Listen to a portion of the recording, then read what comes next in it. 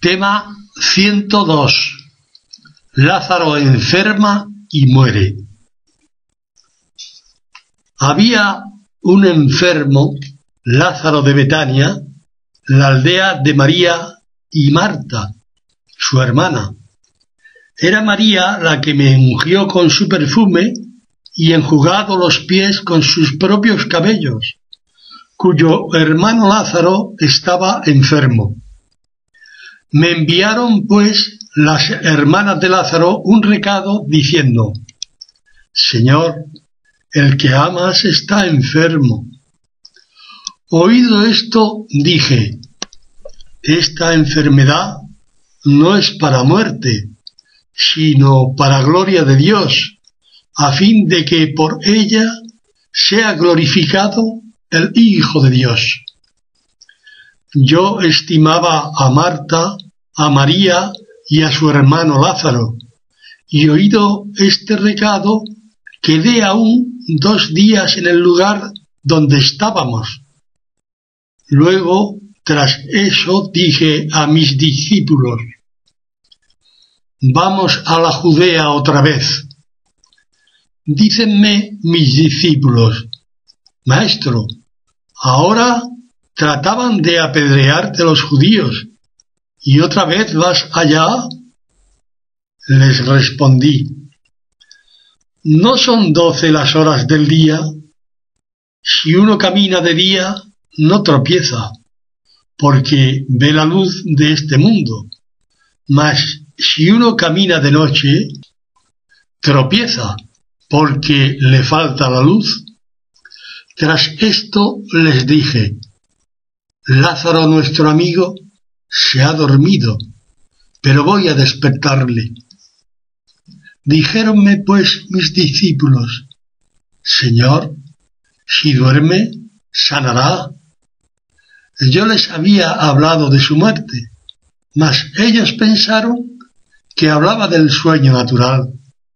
Entonces les dije abiertamente, Lázaro murió, y me alegro por vosotros de no haber estado allí, para que creáis. Pero vamos a él.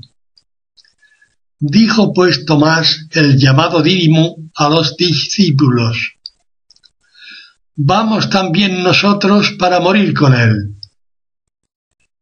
Llegado pues, le hallé que llevaba ya cuatro días en el sepulcro. Estaba Betania cerca de Jerusalén, como a unos quince estadios. Muchos de los judíos habían venido a Marta y a María para darles el pésame de su hermano. Marta, pues, así como oyera que yo llegaba, me fue a encontrar. María, en tanto, quedaba en casa. Díjome, pues, Marta, Señor, si estuvieras aquí, no hubiera muerto mi hermano. No obstante, ahora sé que cuanto pidieres a Dios, Dios te lo otorgará. Le dije, resucitará tu hermano. Me contestó ella, sé que resucitará cuando la resurrección universal del último día. Le respondí, yo soy la resurrección y la vida. Quien cree en mí, aun cuando muera, vivirá. Y todo el que vive y cree en mí, no morirá para siempre. ¿Crees esto? Sí, Señor. Yo creo que tú eres el Mesías, el Hijo de Dios que viene al mundo. Habiendo dicho esto, se fue y llamó secretamente a María, su hermana, diciendo, El Maestro está aquí y te llama. Ella, como lo oyó, se levantó al instante y vino hacia mí. Todavía no había yo llegado a la aldea, sino que estaba aún en el sitio donde Marta me había encontrado. Los judíos, pues, que se hallaban con ella en la casa y la consolaban, viendo que María se levantó de presto y salió, siguieron tras ella, pensando que iba al sepulcro para llorar allí. María, pues, como vino a donde yo estaba, en viéndome, se me echó a los pies, diciéndome, Señor, si estuvieras aquí, no se hubiera muerto el hermano. Así que la vi llorar, como también lloraban los judíos que con ella habían venido, me estremecí en mi espíritu y conturbado dije, ¿dónde le habéis puesto? Me dijeron, Señor, ven y lo verás. Lloré y decían los judíos, mira cómo le quería. ¿No podía éste que abrió los ojos del ciego hacer que también éste no muriese? Me estremecí otra vez en mi interior y me dirigí al sepulcro. Era éste una cueva, sobre la cual había una losa puesta. Dije, quitad la piedra. Díjome Marta, Señor, ya huele mal, que es muerto de cuatro días. La miré diciéndole, ¿no te dije que si creyeres verás la gloria de Dios? Quitaron pues la piedra. Alcé los ojos al cielo diciendo, Padre, gracias te doy porque me oíste yo ya sabía que siempre me oyes, mas lo dije por la muchedumbre que me rodea, a fin de que crean que tú me enviaste. Y dicho esto, con voz poderosa clamé, Lázaro, ven afuera. Y salió el difunto atado de pies y manos con vendas y su rostro estaba envuelto en un sudario. Les dije, desatadle y dejadle andar. Muchos, pues, de los judíos que habían venido a casa de María, viendo lo que hice, creyeron en mí. Mas algunos de entre ellos se fueron a los fariseos y les contaron lo que yo había hecho. Convocaron pues los sumos sacerdotes y los fariseos el Sanedrín y decían, ¿qué haremos? Pues ese hombre obra muchas maravillas. Si lo dejamos así, todos creerán en él, y vendrán los romanos y arruinarán nuestro templo y nuestra nación. Uno de ellos, Caifás, que era aquel año sumo sacerdote, les dijo, Vosotros no sabéis nada, ni reflexionáis que nos interesa que muera un solo hombre por el pueblo y que no perezca toda la nación. Esto dijo no por su propio impulso, sino que, como era sumo sacerdote aquel año, profetizó que yo había de morir por la nación, y no por la nación solamente, sino para que los hijos de Dios que estaban dispersos los juntase en uno. A partir, pues, de aquel día, resolvieron hacerme morir. Así pues, ya no me presentaba en público entre los judíos, sino que me retiré de allí a la región vecina, al desierto, a la ciudad llamada Efrén, y allí moraba con mis discípulos. Se aproximaba ya la Pascua de los judíos, y subieron muchos del país a Jerusalén antes de la Pascua con el fin de purificarse. Me buscaban y se decían unos a otros estando en el templo. ¿Qué os parece? que no vendrá a la fiesta? Los príncipes de los sacerdotes y los fariseos habían dado órdenes de que si alguno supiese dónde yo estaba, me denunciase a fin de apoderarse de mí. Comentario del ingeniero. La concordancia evangélica toma ahora a San Juan como hilo conductor que sitúa este portentoso milagro de Jesús en el orden cronológico que se está llevando. Considerando que lo que acabamos de leer es fundamental para nuestra fe, creo conveniente poner a la consideración de quien está leyendo la siguiente reflexión que titulo Morir y resucitar dos veces. Amiga lectora, amigo lector, si se reconoce creyente pero a su vez no practica su fe, no es consecuente con lo que cree. No siga leyendo, porque conocer lo que ahora relato va a comprometer su alma para siempre. Decir que se ama y no practicar el amor es una mentira, o por lo menos una actitud tibia por la cual uno puede ser vomitado de la boca de Dios.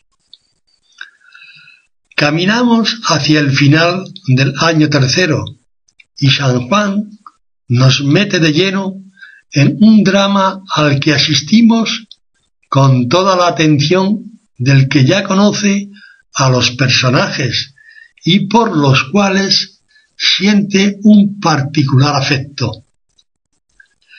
En la casa de Marta, de María y de Lázaro, amigos íntimos de Jesús, se vive con inmensa preocupación la grave enfermedad de Lázaro. Dos grandes mujeres de carácter diferente tienen, sin embargo, un sentimiento común, un hondo amor a un entrañable hermano que les tenía ganado el corazón. Lázaro se está muriendo. El facultativo emite el diagnóstico más preocupante y la evidencia de esta penosa enfermedad hacen que las hermanas se decidan a poner en conocimiento del amigo la angustia de esta familia. Lo hacen con un discreto recado, con un respeto inmenso a la persona de Jesucristo. Señor, mira, el que amas está enfermo. Los hechos tal y como los describe San Juan son rotundamente históricos, es decir, si pudiera retrasar el tiempo, si me llego al sitio donde se consumaron, los tendré a la vista tal y como podría percibir cualquier otro acontecimiento en mi presente. No estamos ante un relato parabólico, una leyenda, un cuento, etc. Estamos ante una realidad consumada y contemplada por muchas personas que pudieron testificar lo que vieron sus ojos y oyeron sus oídos. Un hecho comprobado, cierto, que ha sucedido realmente.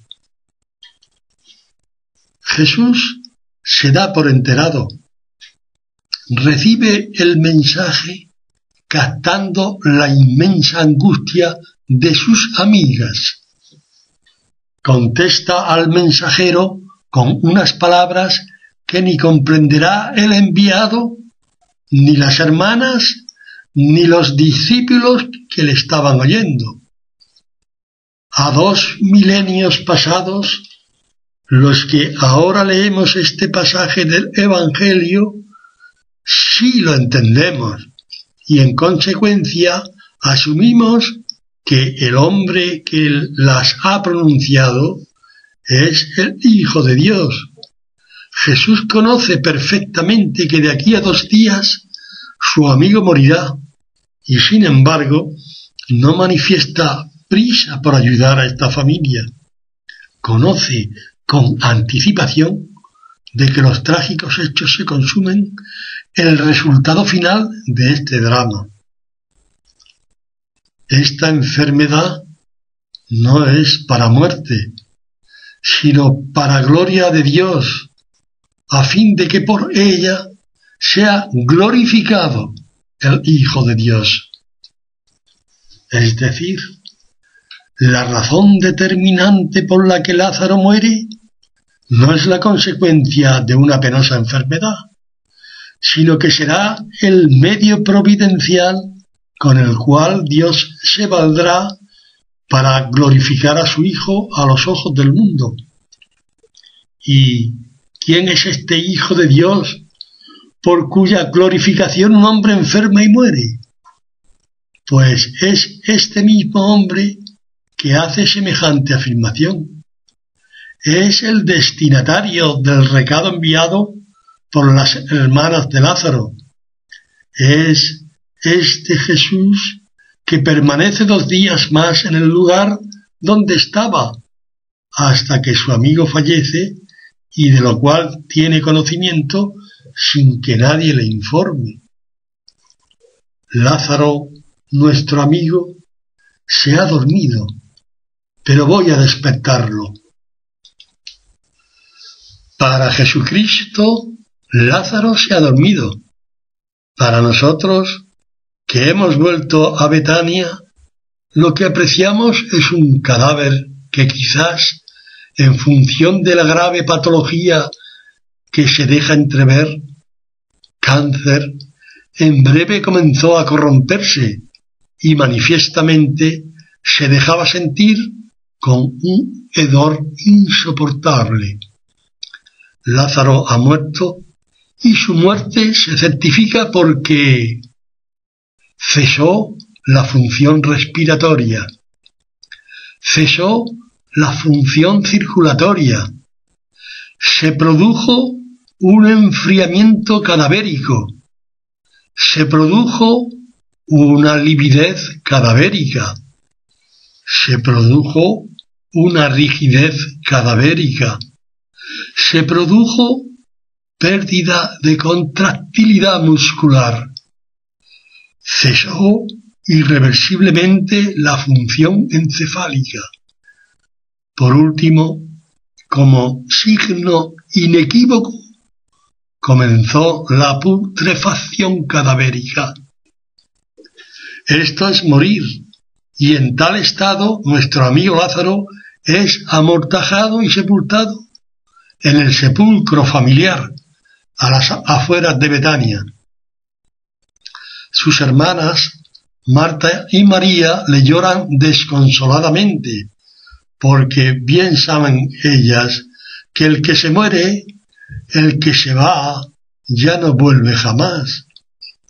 No oirán su voz, no verán su figura, su sonrisa, no sentirán las caricias y los besos de su querido Lázaro. El hermano se ha ido para siempre. Ahora nos volvemos al lugar donde está Cristo, que determina volver a la Judea a pesar de estar amenazado de muerte. Y ante las objeciones que le hacen sus discípulos, dirá, Lázaro murió, y me alegro por vosotros de no haber estado allí, para que creáis, pero vamos a él. Para el Señor, Lázaro dormía, pero para que lo entendamos, dirá que Lázaro ha muerto tal y como lo hemos demostrado anteriormente. Dirá también que se alegra de no haber estado allí, porque de haber estado no hubiera muerto el amigo. Sin embargo, su ausencia le va a permitir consumar un estremecedor milagro al que vamos a asistir con el estupor del que lo vio en vivo y en directo. Un milagro portentoso que ha de despertar la fe y orar en consecuencia del que está leyendo lo que estoy escribiendo, pero que cegará para siempre los ojos de la fe del que no quiere tenerla, aunque esté contemplando un hecho tan trascendental al que le niega voluntariamente su incuestionable verdad. Y esto sí que es un misterio de iniquidad, en virtud del cual el que no responde a esta oportunidad se hace merecedor de su propia condenación. No envió Dios a su Hijo al mundo para juzgar al mundo, sino para que el mundo sea salvo por él. Quien cree en él no es condenado. Quien no cree ya está condenado. Juan 3, 17, 18. El Hijo de Dios se encamina hacia Betania. Ya han pasado cuatro días desde que Lázaro murió. Marta, cuando oyó que Jesús llegaba, salió a su encuentro y entre sollozos se atreve a hacer un cordial reproche al que reconocía como capaz de haber impedido la muerte de su hermano si físicamente hubiera estado allí. Señor, si estuvieras aquí, no se hubiera muerto mi hermano. No obstante, ahora sé que cuanto pidieres a Dios, Dios te lo otorgará. Con estas palabras, Marta deja entrever que cree posible que Jesús pueda resucitar a su hermano ahora, ahora mismo. Solo tiene que pedirlo a Dios, a su Padre, y su Padre Dios se lo otorgará. Jesús le responde, resucitará tu hermano. Ella entiende que esta resurrección será lejana, al final de los tiempos, pero lo que en verdad está sugiriendo es una resurrección inmediata de su hermano. Le dirá, sé que resucitará cuando la resurrección universal, el último día. Pero Jesús, con pausado tono de voz y gesto sereno, le afirmará, yo soy la resurrección y la vida. Quien cree en mí, aun cuando muera, vivirá. Y todo el que vive y cree en mí, no morirá para siempre. ¿Crees esto? Marta, con una emoción incontenida, con el corazón saliéndosele por la boca, casi gritando le dirá, Sí, Señor, yo creo que tú eres el Mesías, el Hijo de Dios que viene al mundo. Jesús ya no sigue hablando con Marta. Le ruega que avise a su hermana María para que venga a verle. Dile que la espero. Marta, deprisa, fue en busca de su hermana, María. Le dice, el maestro está aquí y te llama. Ella, con cierto nerviosismo, acelera su paso para llegar a las afueras de Betania, allí donde Jesús la esperaba, cerca del sepulcro donde estaba el cadáver corrompido de su hermano, ya muerto de cuatro días. Le siguen los amigos de la familia que suponen que esta mujer vuelve a la tumba de Lázaro para seguir llorándole. María, viendo a Jesús, le embargó una inmensa emoción. No pudo contenerse, se echa a los pies de Cristo y en un río de lágrimas se lamenta. Señor, si hubieras estado aquí, no se hubiera muerto el hermano. El llanto desconsolador de esta mujer, el llanto de los que le acompañaban, llegan a los oídos del Hijo de Dios, del Hijo del Hombre, a los de este hombre que se estremece en lo más profundo de su espíritu, se conturba y se ahoga esforzándose por sostener las lágrimas que casi le afloran a sus ojos divinos y humanos. Dios se estremece con el dolor humano, le conmueve hasta su médula divina el padecimiento del hombre. Esto es un misterio inexplicable. Cristo siente como hombre, siente un temblor en todo su cuerpo embargado por una emoción que no puede contener, con la voz quebrada, con un nudo en la garganta, pregunta, ¿Dónde le habéis puesto?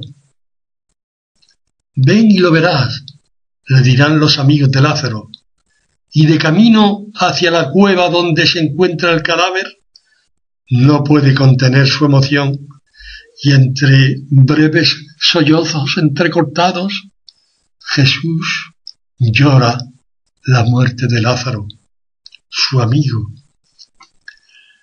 Amiga mía, amigo mío, ahora también toca hacer un alto en la lectura, echarse para atrás en el sillón del despacho, de la mesa de trabajo, en el sillón de la sala de estar de la casa y reflexionar sobre estas divinas lágrimas. Me viene a la mente lo que a mí mismo me ha ocurrido con una situación similar. Conocí al alcalde de un pequeño pueblo de mi tierra, Murcia, España, un pueblo que se llama Sangonera la Verde. Yo era el ingeniero de las obras que en el pueblo se hacían, obras de tuberías y depósitos de agua potable. Mi buen amigo Lucas tenía un cáncer de huesos en muy avanzado estado, y yo le visitaba con alguna frecuencia con el corazón enjuto por la compasión. Me daba una gran pena.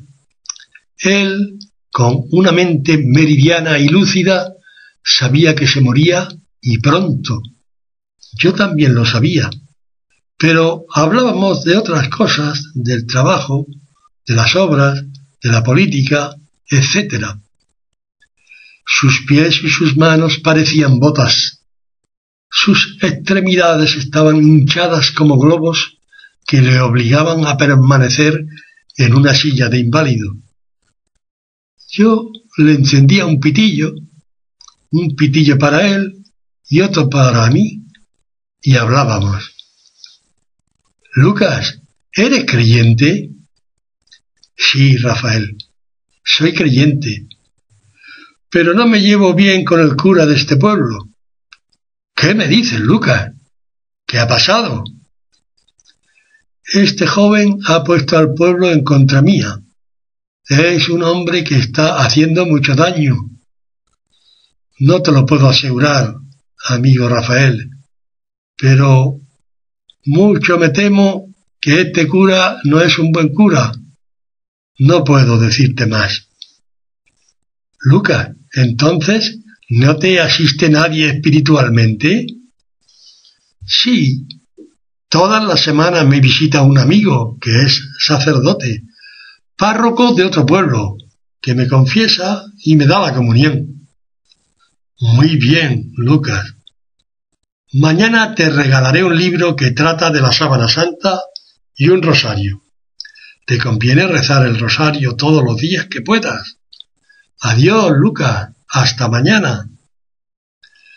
Al día siguiente le llevé lo prometido. Otro cigarro, una buena conversación y hasta la vista.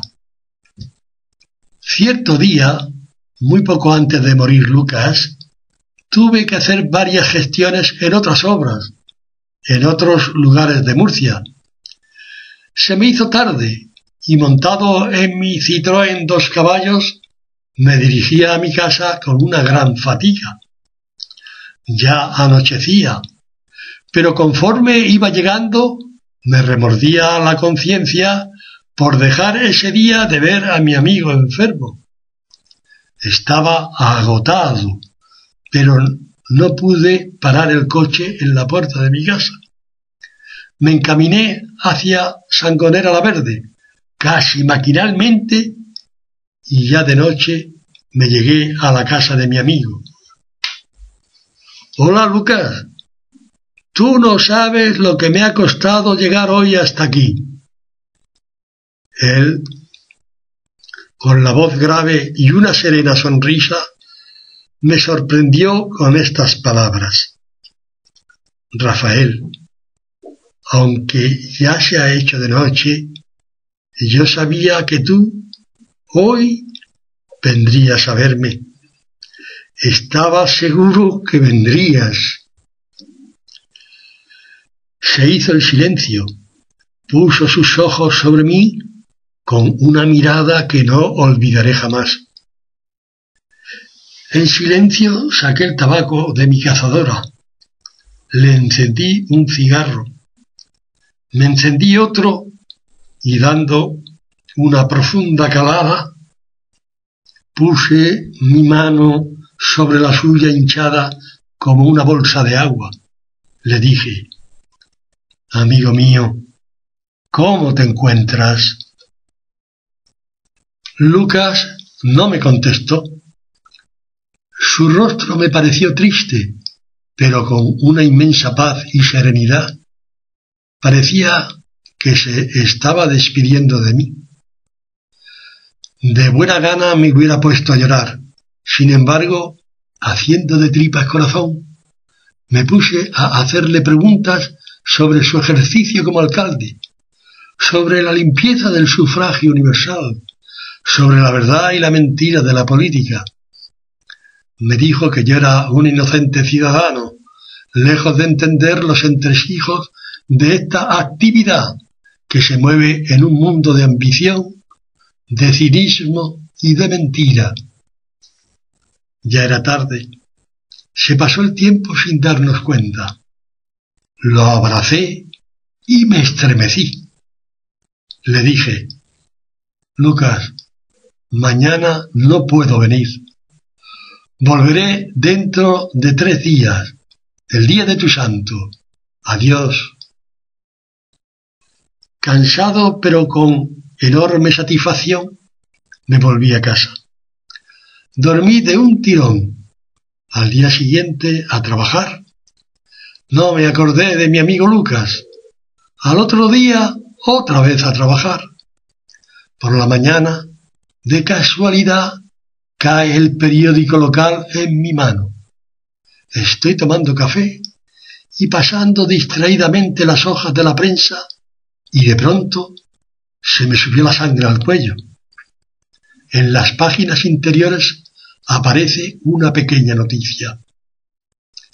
El alcalde de Sangonera ha fallecido después de una larga y penosa enfermedad. Esta madrugada el entierro será a tal hora. Mi amigo se murió el 17 de octubre de hace ya más de 35 años, un día antes de su santo.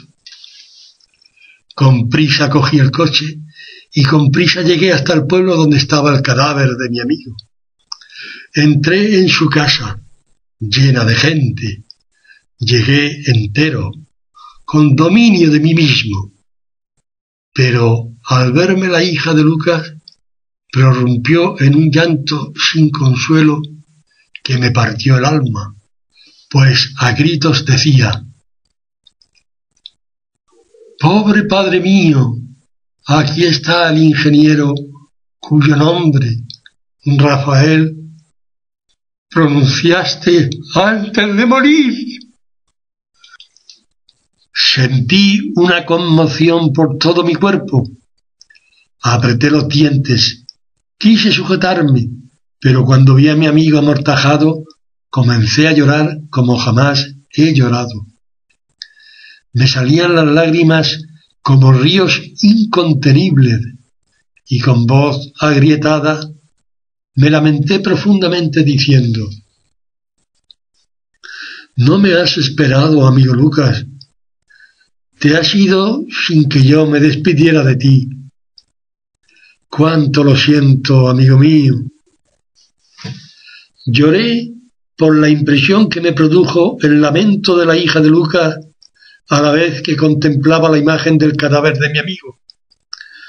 No pude evitar conmoverme porque además sentí que algo de mí se había muerto. La muerte me hizo llorar. Se me anticipó la visión de mi último trance en este mundo. Asumí, quizás, por primera vez en mi vida, que así me verían mis seres queridos, cuando Dios disponga llevarme con él para siempre. Conocí a mi amigo Lucas solo unos meses, no más de seis o siete, pero su amistad es un tesoro que guardo con todo el cariño del mundo. Al poco fui trasladado a otros lugares de España para seguir ejerciendo mi profesión en la ejecución de obras.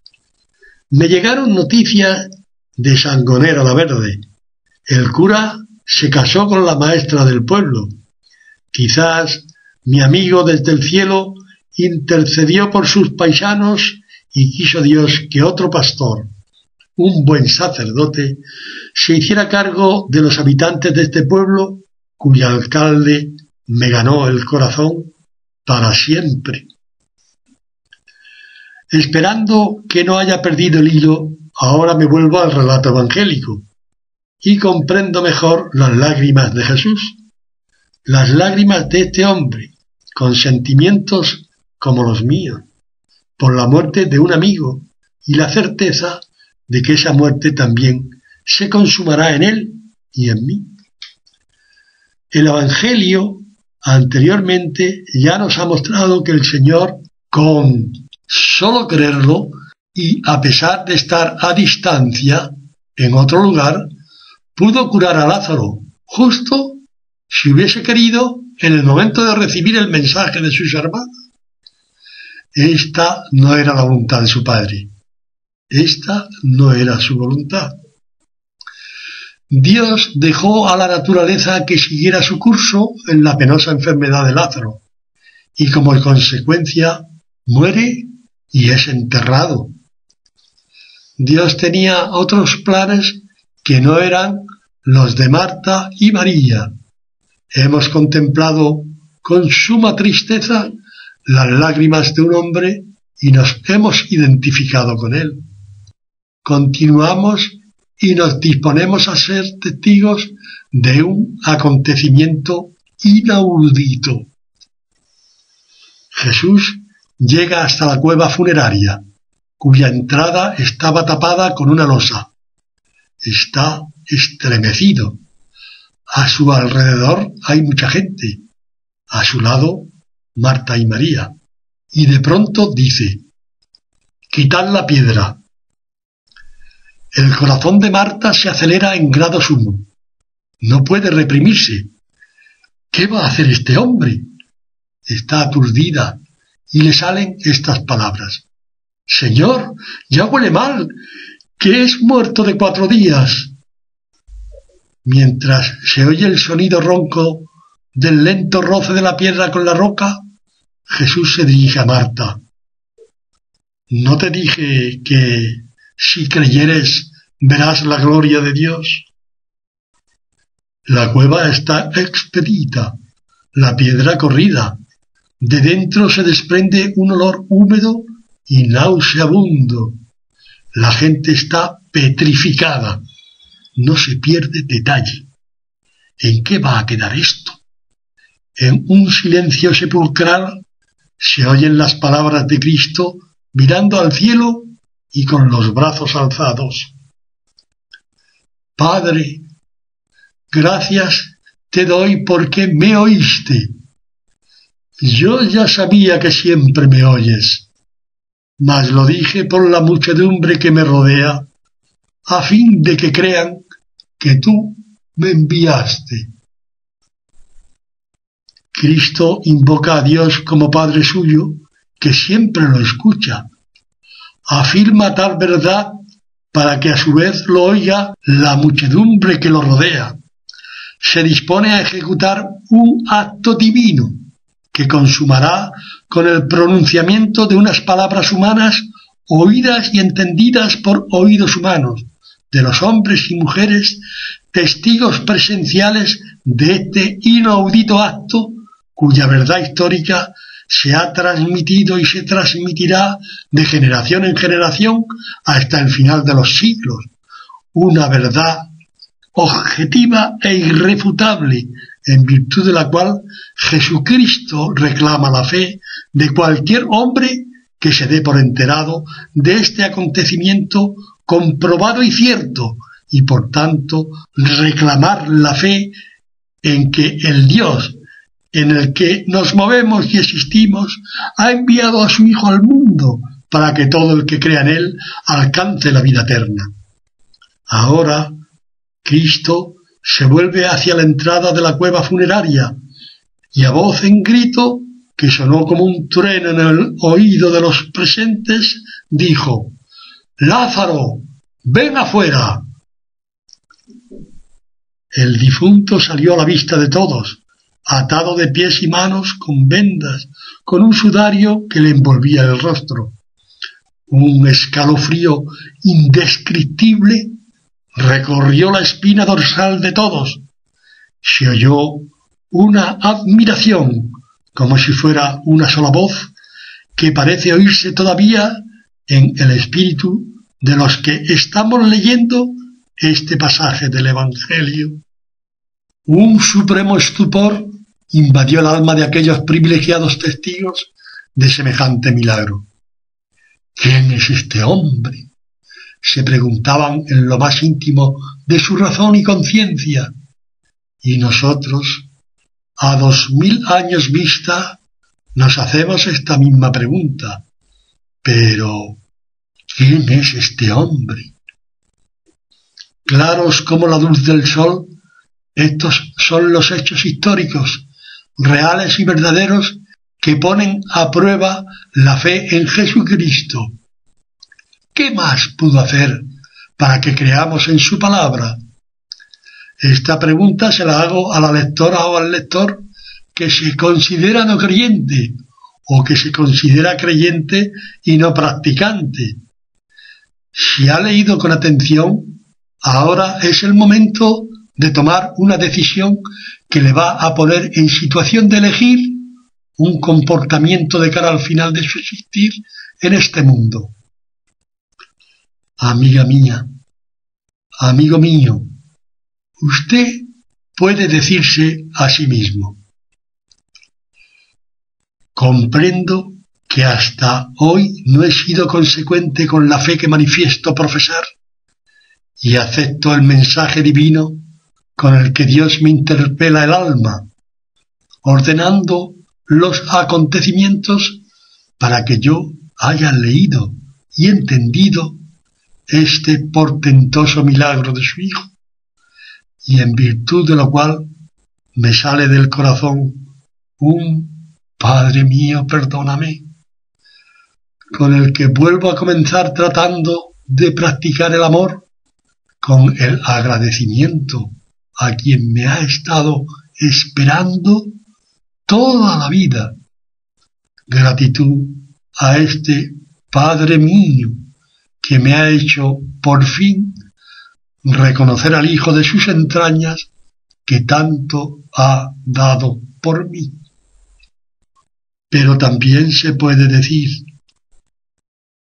he leído, he entendido, no tengo duda alguna, considero con toda mi razón e inteligencia que este hecho ejecutado en determinado tiempo y en determinado lugar es un hecho verídico, incuestionable, y del cual sólo se puede sacar la consecuencia de que este hombre, Jesucristo, consumó una resurrección de un muerto ya podrido, una facultad que considero absolutamente imposible que se pueda dar en otro hombre. Sé a ciencia cierta que no ha habido, ni hay, ni habrá hombre alguno que en virtud de su propia facultad y por sí mismo sea capaz de hacer volver a la vida el cadáver corrompido de otro hombre. Por tanto, asumo la divinidad de Jesucristo, acepto con absoluta libertad y con plenitud de conciencia de facultades psíquicas y morales que Jesucristo es el eterno Hijo de Dios. Sin embargo, con la misma voluntad soberana, con el mismo libre albedrío, escojo mi estado de tibieza o de consumada beligerancia contra Dios, contra su Hijo, contra su Iglesia. Me niego a creer en lo que está meridiano como la luz del sol y en consecuencia acepto desde ya mi posible condenación porque es lo que quiero. ¿Se puede dar en cualquier persona actitud semejante? Pues sí, se puede dar. Y de hecho se da en una medida desconcertante, en un misterio de iniquidad inexplicable, en una medida incomprensible para la razón de un bien nacido. La vida de una mujer, de un hombre con relación, por ejemplo, al tiempo que los científicos especulan sobre la edad del ser humano, es un instante. En la era antropozoica apareció realmente el hombre, el Homo neanderthalensis y el Homo sapiens, y de este comienzo nos separan tres millones de años. De la formación del planeta Tierra en el periodo precámbrico nos separan 4.600 millones de años. En el marco teórico del Big Bang, al universo se le atribuye una edad de entre 14.000 y 20.000 millones de años. Contemplemos cien añitos de vida en este mundo. ¿Qué supone esta edad con las cifras anteriores? Es evidente, y no le descubro nada a quien me está leyendo, que cualquier ser humano asume en lo más profundo de su ciencia y conciencia que estas cifras son menos que nada comparadas con la eternidad. Así como suena, la eternidad, la misma en la que fijas tu alma a la hora de la muerte, en sus buenas o malas disposiciones. La vida es sólo un suspiro, lo que dura el tiempo de decir, te odio con toda mi alma, Padre mío, o decir, te amo con toda mi alma, Padre mío. Cada cual elige con plena libertad su destino eterno. Con esto he terminado. Si este artículo no le ha gustado, no le convence, no le interesa entenderlo, ya es tarde. Le avisé al principio. Ahora Dios está a la espera de su respuesta. Quizás no tenga otra oportunidad. Postdata.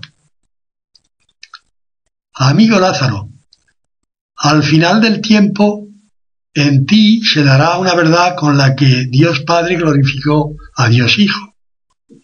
Has tenido que morir dos veces y dos veces serás resucitado. Tengo muchas preguntas que hacerte pero esto lo dejamos para otra ocasión.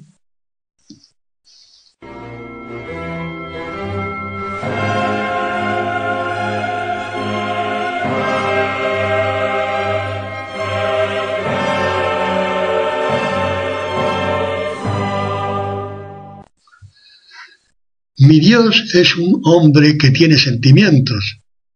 Aquí lo contemplo llorando.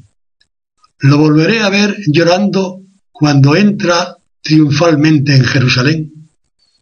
Otras veces lo veré gimiendo en su espíritu, como me lo dice Marcos 8:12. Otras veces lo veré entristecido, como me muestra Marcos 3:5. Otras veces lo veré turbado, en Juan 12:27. Otra vez lo veré en agonía, sudando sangre y quizás también llorando lágrimas de sangre en Getsemaní. Por último pregunto a quien se examina. Pregunta. ¿Sabría decirme en qué ocasiones dice manifiestamente el Evangelio que Jesús está a punto de llorar por la emoción que le embarga? A. El Señor se emocionó al ver llorar a la viuda de Naín. También se emocionó al ver llorar a María, la hermana de Lázaro. Se emocionó camino del sepulcro de Lázaro. Se emocionó cuando descubre a Judas. B. El Señor se emocionó camino del Calvario al ver a las mujeres llorar sobre él.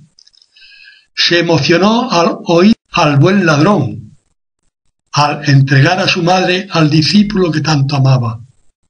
C. El Señor se emocionó cuando sus discípulos volvieron plenos de gozo de predicar el Evangelio. Se emocionó en la despedida de la última cena. Se emocionó cuando Judas lo vendió con un beso en Getsemaní.